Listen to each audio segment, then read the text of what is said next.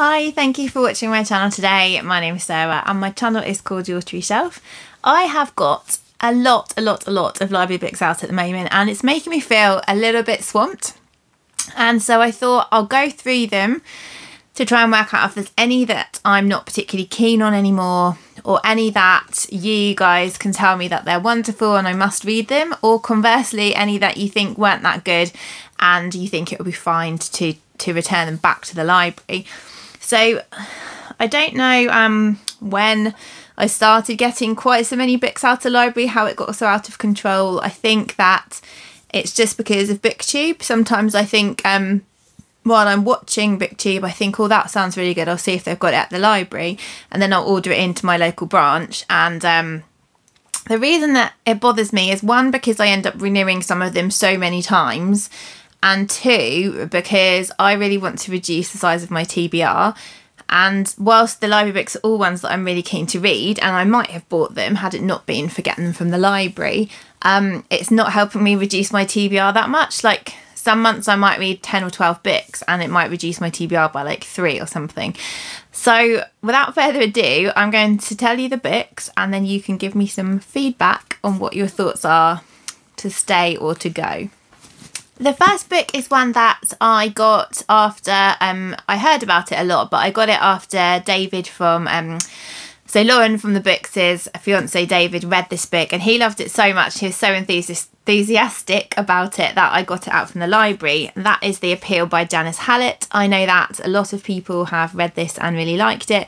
This is a, a crime book, but I think it's probably kind of cozy crime, maybe. Um, so someone's been murdered and um, a group of or a couple of law students are assigned the case by a QC um, to try and work out what's happened. So it says one murder, 15 suspects, can you uncover the truth? But I think it's all told in sort of documents and emails and things like that. So I think it'd be quite quick to read and it's supposed to be like really, really gripping. So that's the first one. The second one is one that I got out very recently because it's the second in a series that I and I really enjoyed the first one and this is um, the second in the Paper and Heart Society series by Lucy Powrie, and this one's called Read with Pride.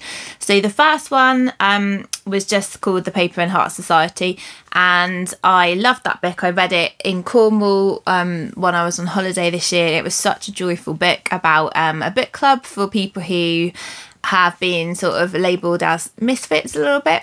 And this focuses on a different character this time from the same book group. So I'm really, I really definitely want to read this one just because I love the first one so much. And it would be nice for me to actually make progress with series rather than start more series and not progress with them. The third book is one that I saw Jen Campbell recommend, and several of these are actually recommendations from Jen Campbell. So, this is the first one, and this is a book in translation. So, this is The Family Clause by Jonas Hassen Khemiri, and this is translated by Alice Menzies from Swedish. And um, so, this is about a family. So, the dad and his grown up children, the dad um, is has moved abroad from Stockholm, but he's come back to Stockholm to see his children. So his daughter's having a baby with uh, the wrong man, and the son is a failure, and his wife has deserted them. And it's basically 10 days of them all together and trying to um, just be, be together for 10 days and all of the things that kind of unravel and unfold in that sort of 10 day period where they're all staying together. And I think that sounds really good. I quite I like sort of family dramas and I like things that are set in quite sort of um close quarters like that where you I'm guessing we'll get quite a lot of detail about the time that they're together. So that one really appeals. The next one is another recommendation from Jen. I'm sure I could read this in one sitting because it's a graphic novel and this is called Hello Mum by Polly Dunbar. So this is um, a, a graphic novel, a graphic novel about motherhood and some I don't know. Yeah, there's a few words, but mainly pictures. And um, I think that I'll be very much be able to um, relate to this, having two young children myself. And um, I just, yeah, I think it just sounds sounds just like it would be something that I'm into and that um, I can relate to. So I am looking forward to that. And um, yeah, I could. I'm, I know I could just read this in one sitting. So that one I could read and return to the library quite easily. The next two are ones which are the book club choices for our work book club for November and December. So these ones will be read soon and given back to the library. So um, the first one, which is for the 6th of November. This is The Madness of Grief by Reverend Richard Coles. So this is a non-fiction book and um, Richard Coles is he's been on Strictly, he's um, a TV vicar and um, probably known to a lot of people in the UK. And his partner died um, in 2019, I think from alcoholism but it was a surprise and um, basically it's his uh, memoir about about grief. And two of my friends in book club have read it so far and they said it's good but it is pretty sad. Um, but I think they said it's quite a quick read as well. It's not a very long book. So that's the that's one that I'm definitely going to be reading as is the December choice which is The Librarian by Sally Vickers. Just going to have a sip of tea. In a detour I just tidied out my tea cupboard and um found a loose tea bag with um it looked like a tea pigs or something like that tea tea bag, but I wasn't sure what flavour it was, and I think it's like a sort of peachy mango one, but it's nice. So that was a tea lucky dip. so this one is about a lady called um, Sylvia Blackwell. It's set in 1958 and she takes a job as a children's librarian in a rundown town.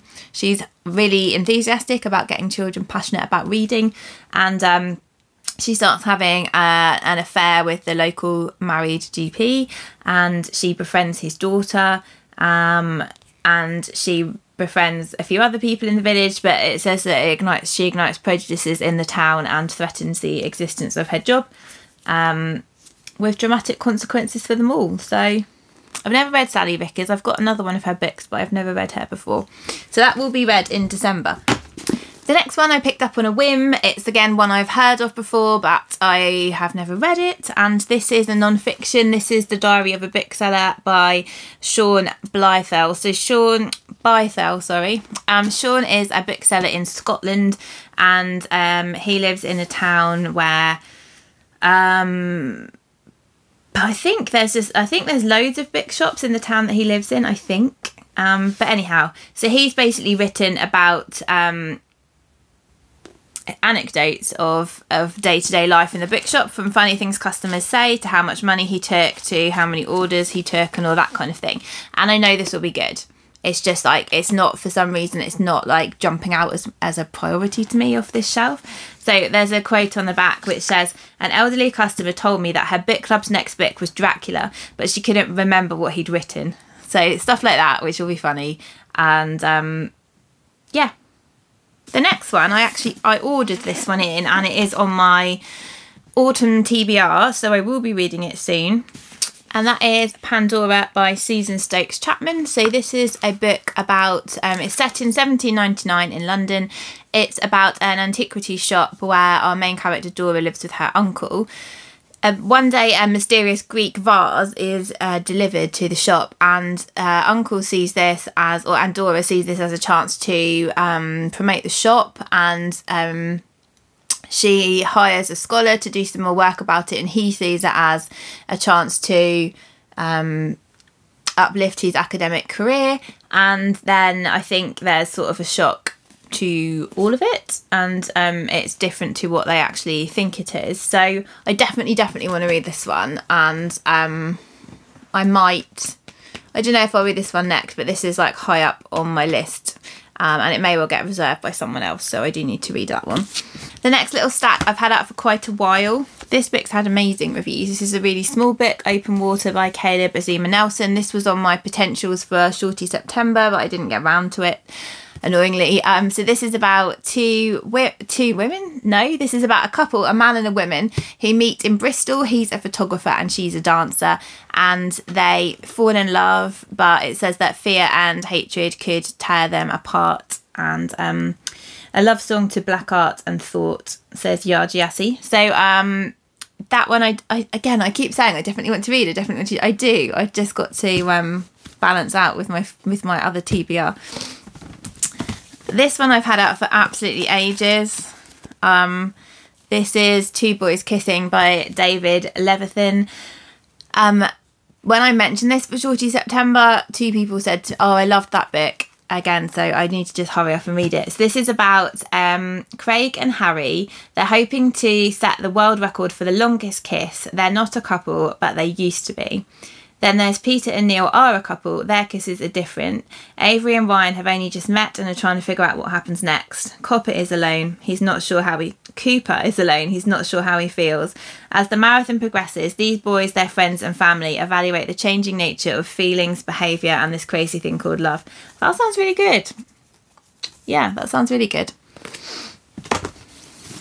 The next one is one that I saw discussed by um, Louise Savage from Louise Savage Muses, and um, I've mentioned this also for my autumn TBR. This is The Way of All Flesh by Ambrose Parry, who I think is a married couple, and this is set in is it Victorian times?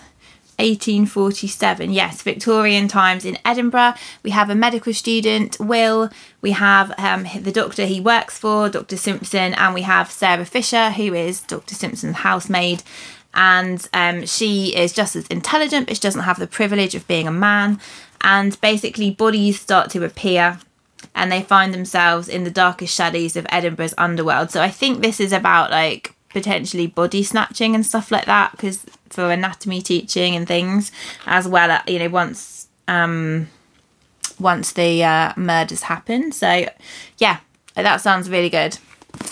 Like everything that I've just said. Um, I then have A Burst of Light and Other Essays by Audre Lorde and this was another potential for Shorty September. So this is an essay collection, um, winner of the 1989 American Book Award, and these are their titles of the essays are um, Sadomasochism, Not About Condemnation, I Am Your Sister, Black Women Organising Across Sexualities, Apartheid USA, Turning the Beat Around, Lesbian Parenting in 1986, and A Burst of Light, Living with Cancer. So again, this is a really short book, and I have no excuse why I haven't read it yet. I'd re- I've wanted to read Aud- Audre Lorde for such a long time, and um, this is my opportunity to do so. I have an impulse borrow, which I got out a couple of months ago, um, which is Antigone Rising by Helen Morales. Um, this is a collection of essays about ancient myths. So it says um, this is a fresh understanding of the Greek classic myths, and it's basically saying how a lot of the time the women were.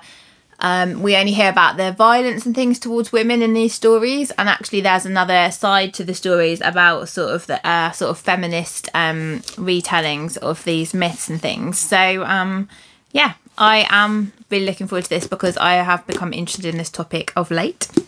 The next one I've had out for absolutely ages, I would say months and months and months. And I got it out because Jen Campbell talks about this book a lot and how amazing it is, but I'm not really a crime reader. So I need to be persuaded, do I go for this or not? So this is the start of the Frieda Klein series. This is Blue Monday by Nicci French. The reason I'm a bit reluctant is because this is about a child who gets abducted and as a mum, I find it like I don't really read. I find like if I do read crime, I can get into it, but it doesn't kind of call me. And if there's anything about children getting hurt or taken, that's just like horrible to read as a parent. And but everybody who's read this series says it's really good. Um, so it's about a five-year-old Matthew Faraday. He's abducted, and his parents and the police are desperate, and they get in touch with um, psychotherapist Frieda Klein, who just might know something. And um, so, yes, Frieda Klein is the main protagonist throughout the whole series. There's eight, I believe, in this series, each named after day of the week, and then one more. And so I just need to know: do I do I do this or not? Please tell me. The next one was an impulse borrow from a few months ago when I was near the um, section where you check out the books at the library. I saw this. It was a complete cover impulse purchase. This is a YA book called After Love by Tanya Byrne. And the premise is that we have a girl called Ash who is in a car accident and I think she dies in the car accident. And then she gets an invitation from the afterlife to join a clan of fierce girl reapers who take the souls of the city's dead to await their fate. However, she's in love with a girl called Poppy, um, in her real life, and she wants to see her again. She's desperate to, and um, she basically says she'll do anything to see her again, even if they are dead or alive. The next one was a recommendation from Mercedes, and I saw this in the library and got it. It looks like a really good summer read, so I'm a bit gutted I didn't read it over the summer.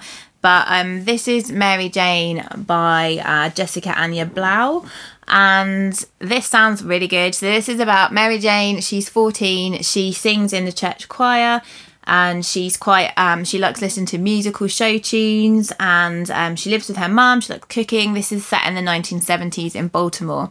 And she gets a job looking as a nanny to the doctor's children which her mum thinks is going to be a really respectable job. They then find out when she goes to this house to start the nannying job it's pretty chaotic in the house it's i think it's quite kind of dirty. They eat a lot of takeaways and um, she finds out that um, the doctor's a psychiatrist and he's taken in a drug addict rock star and his wife for the summer to try and get him clean. And so this is completely different to um, what she was expecting. And she starts bringing order to their life, but by the end of the summer, she is she changed? Is she still is she still the same person or has she changed them or have they changed her? That sounds amazing. I'm really looking forward to that one. That's getting near the top of the pile. The next one is by an author that I've read before and really liked, and I've had this out for ages. This is a non fiction book, and this is Somebody to Love by Alexandra Heminsley. I read Running Like a Girl by her and really enjoyed it um, a year and a half ago or so. And this is about so Alexandra is pregnant with her son, and when she is pregnant, her husband or partner tells her that he is transitioning to be a woman. And this obviously comes as a massive shock to her and ends their relationship. And it's about their journey as co parents and um, what it's like for her to have a husband who is transitioning to be a woman while she's pregnant. So that sounds fascinating, especially because it's non fiction rather than fiction. This, this stack of books is just collapsing before my eyes we have a book that Jen Campbell talked about loads, and I have had this out for way too long. This is A Place for Us by Fatima Farheen Mirza. I think it was Jen's book of the year a few years ago now, and I've definitely heard her mention it a lot of times. I also think Sarah Jessica Parker picked this for her. Um, is it her like? Is it for her publishing label? I'm not sure. I think it might be. Not sure. But anyhow, um, so this book is about an Indian Muslim family, and the eldest daughter is getting married, and um, she has chosen her partner. She loves her partner, and as the family come back together, there's an estranged brother called Amar, and it's like can he be trusted to behave himself after three years away? I think it starts in the present and goes back in time i believe and we find out why is that he estranged what has happened in this family to to tear the family apart. So again i do really like a family saga and i think it might be set in the states i think but yeah so that's that one Next one sounds really good. This this one is Snowflake by Louise Nealon. This was recommended by Kira from um, Kira Foster. I will link all these channels um, below. And um, this she recommended this because she really likes Sally Rooney and she said this is similar to Sally Rooney and um, I was a bit ambivalent about Sally Rooney, but I loved her last book, and so this is why I hired this one, hired this one, borrowed this one from the library. And so this is about a girl called Debbie White who is living in Dublin on a dairy farm with her mum Maeve and her uncle Billy, who lives in a caravan at the bottom of the garden. Billy sounds like an alcoholic, or he's drinking a lot anyway. And her mum is writing down dreams which she thinks are her prophecies. And that was just kind of normal life for Debbie, but now she's going to Trinity College in Dublin and she is trying to navigate between new friends who seem quite sophisticated and her family un- starting to unravel where her mum's getting more eccentric her uncle's drinking more. And it's about sort of that um, pull between her family and her friends. So that sounds fab. I told you that was a lot of books didn't I the next one is another recommendation from Jen. This is one which the library actually bought for me um, because I asked for it. And this is the Hopkins manuscript by R.C. Sherriff. So this is about Edgar Hopkins, who is a retired teacher and he learns that the moon is about to crash into the earth with apocalyptic consequences and he leaves behind a manuscript basically um, saying about what um, well i think I, I, think he might have written the manuscript anyhow because um, he sort of writes for literary prizes trying to make a career as a writer and then when there's this apocalypse his manuscript is discovered in the future and to learn what earth was like before that and um, this was published in 1939 and um, yeah, I'm looking forward to that. Last two. So the next one I actually own, but I heard that it's good to have a physical copy of because so I've got the an e-copy. There's a character list, and I think if there's a character list, it would be easier to actually read it in paper rather than on ebook. Um, this is a highly, highly acclaimed book. This is the fifth season by R.K. Jemisin. This is the first in the Broken Earth trilogy. This is about where I, I believe there's a fifth season every um, rarely, and it brings some sort of environmental catastrophe. I think so. On the back, it just says, um, "This is the way the world ends for the last time." It starts with the Great Red Rip it starts with the Great Red Rift across the heart of the world's sole continent, spewing ash that blots out the sun. It starts with death, with a murdered son and a missing daughter. It starts with betrayal, and, a long, and long dormant wounds rise up to fester. This is the stillness, a land long familiar with catastrophe, where the power of the earth is wielded as a weapon and where there is no mercy. It's, it's won so many awards, everybody raves about how amazing this is, and so I'm really looking forward to this fantasy. And then the very last book is one that I just picked up today. I ordered it ages ago and it's just come in. This is um, The House of Fortune by Jessie Burton, which is the sequel to The Miniaturist by Jessie Burton, which I absolutely loved when I read it a few years ago now when it when it came out and um, I can't really say what this is about because if you haven't read The Miniaturist then this will give spoilers but please read The Miniaturist if you haven't because it's so wonderful and um, look how beautiful the front cover is. I think if I love this as much as I love the miniaturist, I may get physical copies of them both because the miniaturist I own on Audible and um, this one I don't own at all. So help. As you can see, I don't even I haven't even counted how many books that is, but as you can see, there is way too many library books there. So be like um comment below and tell me if there's one that you're like you have to read this and one that you're like eh yeah that was okay but not really for me because I need to try and sort this problem out. I'm not taking any more books out the library unless I really, really want them. Um, I have got one more coming in on on order, but I think I'm quite far down the queue, which is good. So yeah, any help you can give me, I'd really appreciate that because I'm drowning in library books. I hope you have a lovely week and I'll speak to you all soon. Bye!